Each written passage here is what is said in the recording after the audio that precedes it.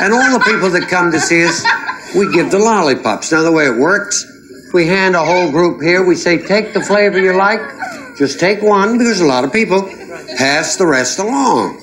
So I'm just saying hi to this audience.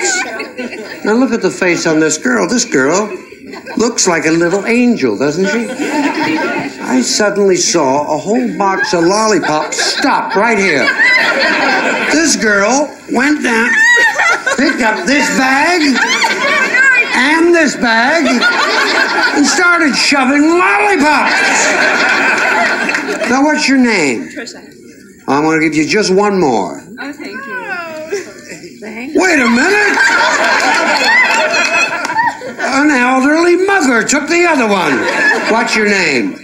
Dorothy Danner. Well, that's correct. You can have as many as you want. Oh, I'm almost 80 years old. You're almost 80? This is my daughter. Uh, nice to see.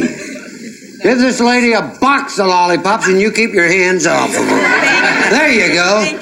Thank, Thank you for so coming to see us. You're, you're one. I gotta get to work. I gotta get to work.